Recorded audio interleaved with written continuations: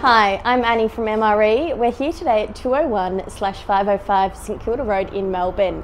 Here at 505 St Kilda Road, residents do have access to a swimming pool and gym.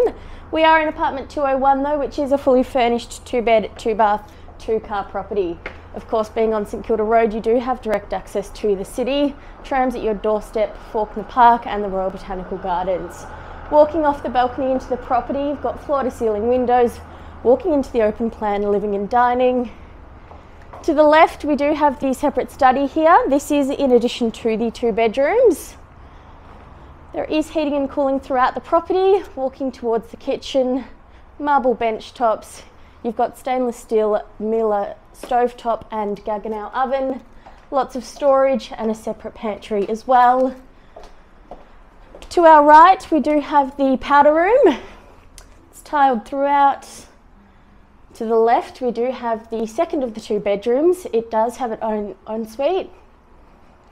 Large bedroom, lots of room for the queen size bed, built in robes. Here we have the master ensuite. As you can see, there is an abundance of storage. Large room, lots of natural light from the windows there.